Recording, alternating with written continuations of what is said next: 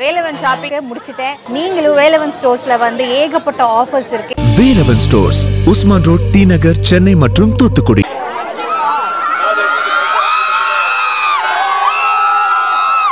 இதை நடத்தி கொண்டிருக்கக்கூடிய மாவட்ட கழகத்துடைய செயலாளர் சட்டமன்ற உறுப்பினர் அருமை சகோதரர் சகோதரர் அம்மன் அர்ஜுன் அவர்களுக்கும் சிங்கநல்லூர் சட்டமன்ற உறுப்பினர் அருமை சகோதரர் நம்முடைய ஜெயராம் அவர்களுக்கும் இந்த பூத்திலே பொறுப்பாளராக இருந்து சிறப்பான முறையில் பணியாற்றிக் கொண்டிருக்கூடிய எந்த பொறுப்பு கொடுத்தாலும் அந்த பொறுப்பை சிறப்பான முறையில் பணியாற்றக்கூடிய அருமை சகோதரர் கோவை புறநகர் இளைஞரணி மாவட்டத்துடைய செயலாளரும் அருமை தம்பனியுமான இன்ஜினியர் சந்திரசேகர் அவர்கள்.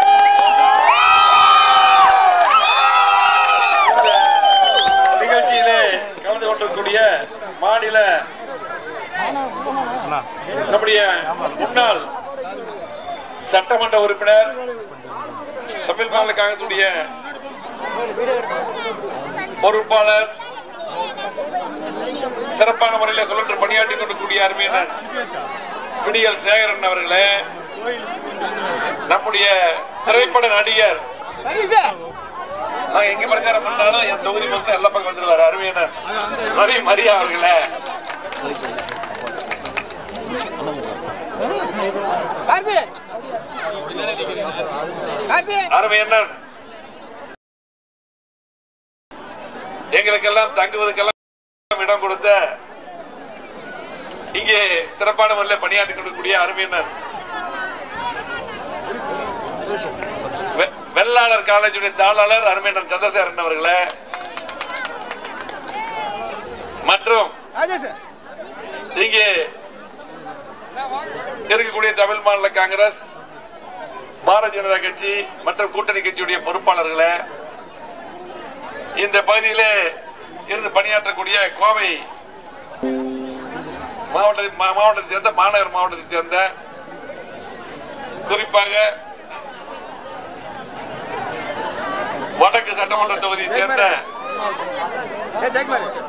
வடவள்ளி பகுதிக்கு உட்பட்ட வடவள்ளி வீரகர்ல பகுதிக்கு உட்பட்ட அத்தனை பகுதி செயலாளர் உட்பட வார்டு செயலாளர் உட்பட அத்தனை பொறுப்பாளர்களே. நம்முடைய அருமை தம்பி சந்திரசேகரன் பணியாற்றிய அத்தனை வார்டு செயலாளர்களே அத்தனை பொறுப்பாளர்களே. நம்முடைய தலைமை பேச்சாளர்கள் வழக்கறிஞர்கள் இங்க வந்துக்கூடிய அருமை தம்பிகள் அத்தனை பேருக்கும் இங்க இருக்கக்கூடிய பெரிய பெரியவர்கள் தாய்மார்கள் சகோதர சகோதரிகள் பத்திரிகை நண்பர்கள். பத்திரிகை நண்பர்கள் பேட்டி கொடுக்க வந்தாங்க. எங்கிட்ட டைம் ஆகிறத கொடுக்க முடியல. யாரும் தப்பா நினைச்சுக்காதீங்க. பத்திரிகை தொலைக்காட்சி நண்பர்களுக்கும் நன்றி. இந்த சட்டமன்ற இடைத்தேர்தலிலே நீங்கள் எல்லாம் சிந்தித்து பார்க்க வேண்டும். களத்தில் இருக்கக்கூடிய வேட்பாளர்கள் தென்னரசன் ஒரு ஒரு எளிமையானவர் இரண்டு முறை சட்டமன்ற உறுப்பினராக இருந்திருக்கிறார். அது மட்டுமல்ல இந்த ஈரோடு மாவட்டத்தில் எல்லா திட்டமும் செஞ்சது அண்ணா திமுக ஆட்சியில தான். திமுக ஆட்சியில ஒன்றுமே செய்யல. புரட்சி தலைவர் எம்ஜிஆர் அவர்கள் இருக்கும் பொழுது இந்த மாவட்டத்தை தனி மாவட்டமாக உருவாக்கி பல்வேறு திட்டங்கள் தந்தது புரட்சி தலைவர் எம்ஜிஆர் அவர்கள். அதுக்கு பின்னால் புரட்சி தலைவர் அம்மா அவர்கள் வந்த பின்னால் இங்க என்னென்ன திட்டம் தேவையோ கூட்டுக்குண்டு திட்டத்திலிருந்து என்னென்ன திட்டம் தேவையோ அத்தனை செய்தவர் புரட்சி அம்மா அவர்கள். அதுக்கு பின்னால் எடப்பாடியார். நாலரை ஆண்டுகள் ஆட்சியிலே என்னென்ன திட்டங்கள் தேவையோ கேட்டதெல்லாம் செஞ்சு கொடுத்தார். அதுக்கு உறுதுணையா இருந்தவர் நம்முடைய வேட்பாளர் அண்ணன் தென்னரசவர்கள் எங்க போனாலும் இந்த ரோடு நாம நம்ம ஆட்சியில போட்ட நான் போட்டு கொடுத்துக்கிறாரு. இந்த பில்டிங் இந்த பில்டிங் நாங்க தான் கட்டி கொடுத்துக்கிறாரு. அப்படி மக்களோட மக்களாக பழகிய எளிமையான வேட்பாளர். இந்த பகுதிக்கு ஊராட்சி கோட்டை கூட்டுக்குண்டி திட்டம். நானூத்தி எண்பத்தி நாலு கோடி ரூபாயை நிதி ஒதுக்கி கொடுத்தவர் அண்ணன் எடப்பாடியார். அதுக்கு நான் தான் உள்ளாட்சித்துறை அமைச்சராக இருந்து கையெழுத்து போட்டு சாங்ஷன் பண்ணேன். அது காரணகர்த்தாவா இருந்தவர் அண்ணன் தென்னரசு. அவர் தான் வந்து எங்க தொகுதிக்கு வேணும் தொகுதிக்கு கேட்டு வாங்கியவர். அதே போல ஸ்மார்ட் சிட்டி திட்டம். அதே போல எல்லா சாலைகள் அமைச்சது பாலங்கள் கட்டினது. எல்லா திட்டங்களும் கொண்டு வந்தது அண்ணா திமுக ஆட்சியில தான் அதே போல எடப்பாடியார் அத்திகட வன திட்டம் எழுபது ஆண்டு கால பிரச்சனை முடித்திருந்தவர் அந்த எடப்பாடியார் அவர்கள். ஒரு விவசாய குடும்பத்திலே பிறந்து இந்த நாட்டை சிறப்பாக ஆள முடியும் என்று நிரூபித்தார் எடப்பாடியார் அவர்கள் யாரும் மறுக்க முடியாது. அவர் ஆட்சிக்கு வருமா எல்லாம் மூணு மாதத்துல போயிடும் ஆறு மாதத்துல போயிருந்தாங்க. ஆனால் மக்களுக்கு தேவையான திட்டங்கள் தந்து ஏழு புள்ளி அஞ்சு சதவீதம் இடஒதுக்கீடு தந்து அரசு பள்ளியில் படிக்கின்ற மாணவ மாணவிகளுக்கு ஆறுநூறு பேருக்கு மேல் எம்பிபிஎஸ் பிடிஎஸ் படிச்சு டாக்டர் எடப்பாடியார் தான் காரணம். ஒரு விவசாயி தான் காரணம். ஆகவே இன்றைக்கு எடப்பாடியார் உங்க மாவட்டத்தை சேர்ந்தவர் தான். எப்ப கேட்டாலும் இன்னைக்கு ஓடி வருவார். ஆனால் இன்னைக்கு திமுக இருபத்தோரு மாத காலமாக ஒண்ணுமே செய்யாம எலெக்ஷன் நேரத்தில் மட்டும் வந்து இறங்கியிருக்காங்க.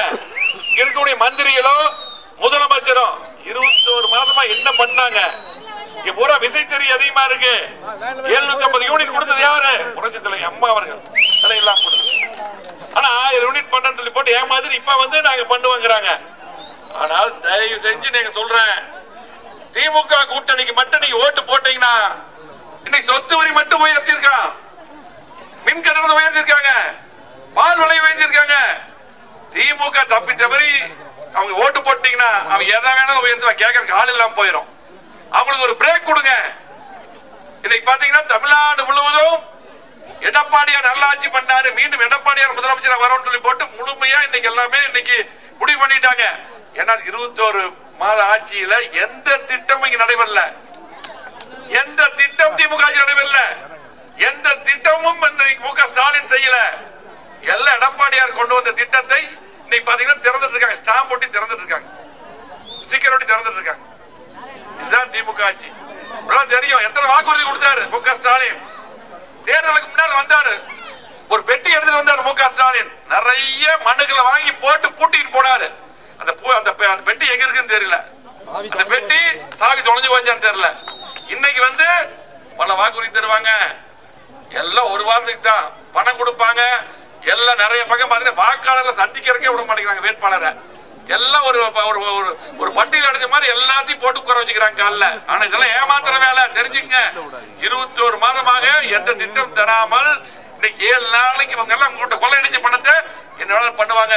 நீங்க என்ன வேணா கொடுத்த வாங்கிங்க. ஆனா ஓட்டு மட்டும் ரெட்டலைக்கு போடுங்க. எடப்பாடியாருக்கு போடுங்க. தென்னரசுக்கு போடுங்க. தென்னரசு தான் எப்ப கூப்பிட்டாலும் வருவார். ஏன்னா உங்களுக்கு பாத்தீங்கன்னா கணக்கு போடுங்க. இன்னைக்கு உரிமை தொகை குடும்ப தலைவருக்கு ஆயிரம் ரூபாய் தரேன்னு சொன்னாங்க திமுக சொன்னாங்கல்ல கொடுத்தாங்களா இருபத்தோரு மாதம் ஆச்சு திமுக காரன் வந்தா இருபத்தோராயிரம் ரூபாய் கொடுத்துட்டு வந்து ஓட்டு கேட்க சொல்லுங்க கொடுக்கணும்ல இருபத்தோரு மாசம் ஆயிருச்சு உரிமை தொகை ஆயிரம் கணக்கு ஆச்சு. திமுக ஓட்டு கேட்டு வந்தா வந்து ஏமாத்துவாங்க. ஒரு வாரம் தான் திமுக பார்க்க முடியுதீங்க அதுக்கப்புறம் தேடினா கூட கிடைக்க மாட்டாங்க. இல்லையா? அப்ப யாரு வருவாங்க கிட்ட தென்னரசு வருவாங்க ஆகவே தயவு செஞ்சு இந்த ஆட்சிக்கு இன்னைக்கு பாத்தீங்கன்னா யாரும் மின் கட்டணம் கட்ட முடியல. 53% மூணு சதவீதம் அதிகம். சொத்து வரைக்கும் அடிமை உயர்ந்திருக்குது. இன்னைக்கு எல்லா பக்கம் பிரச்சனை. பால் விலை உயர்வு. சட்ட வழக்கு சரியில்லை. இன்னைக்கு யாரு பாதுகாப்பு இல்ல இந்த ஆட்சிக்கு முடிவு கட்ட நீங்கள் எல்லாம் இரட்டை இலை சின்னத்தில் வாக்களிக்க வேண்டும். இந்த ஈரோட்டுக்கு எதுவுமே செய்யாம இன்னைக்கு ஓட்டு கேட்டு வரக்கூடிய திமுகவை புறக்கணிக்கணும். ஈரோட்டுக்கு அத்தனையும் செஞ்சு அண்ணா திமுக நீங்கள் ஆதரிக்க வேண்டும். ஆகவே எடப்பாடியார் அவர்கள் மீண்டும் முதலமைச்சராக வருவது உறுதி. வந்து திமுக செய்யாத திட்டங்களை பூரா அவர் செய்வார். ஆகவே இதுக்கு பிள்ளையார் சொல்லியாக ஆரம்பமாக நீங்கள் எல்லாம் இரட்டை இலை சின்னத்திலே வாக்களித்து ஒரு எளிமையான வேட்பாளர். கூப்பிட்டு ஓடி வரக்கூடிய வேட்பாளர் கூட்டுக்குடி திட்டம் தந்த வேட்பாளர்.